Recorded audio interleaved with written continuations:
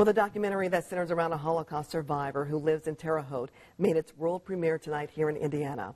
And 83-year-old Eva Kor was here in Indianapolis, walking the blue carpet to see the debut of her remarkable story.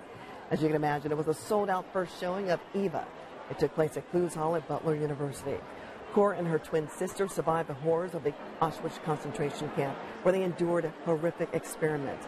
But despite all that she has suffered, she now travels the entire world spreading a message of healing through forgiveness. It's a lesson, she says, she hopes will live on in this film. It's going to teach people that there is always hope after despair. And there is always a tomorrow after disaster. And if we don't give up on ourselves and on our dreams, we can accomplish anything. She is an amazing woman. Eva tells us the outpouring of support at tonight's premiere really demonstrates the power of doing the right thing and never losing your way.